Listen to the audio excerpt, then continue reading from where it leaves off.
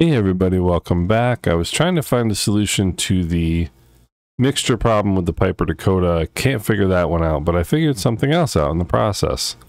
We know when we switch profiles in Sim Update 2 and Flight Sim 2024 that it takes forever and a day for the profile to load. Well, let's wait for this next one to load.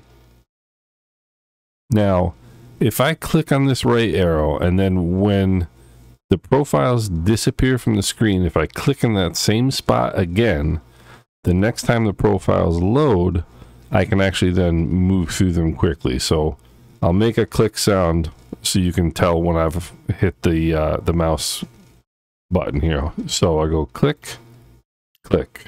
As soon as it disappears, click the mouse again, same spot. Now when the next profile loads, now I can move through them. Makes it easier if you have to search for one, obviously. So for this, you know, the Dakota, I want single engine complex. So now I've got it. If I just wait for it to load, then click on the thing and just click set as default. And now single engine complex is default for the Dakota.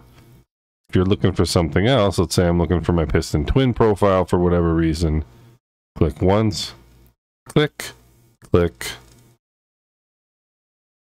Just wait for the next profile to load, whatever it may be.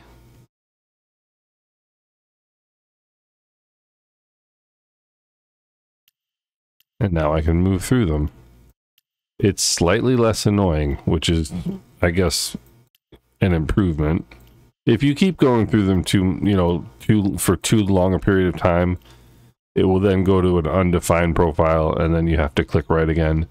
But this is at least a workaround for now. Just thought I'd share this with you guys. Hope everybody is well. Bye bye.